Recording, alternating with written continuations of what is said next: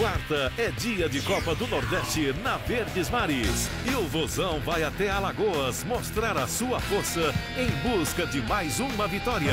CRB e Ceará ao vivo nesta quarta, depois de Big Brother Brasil. Futebol 2014.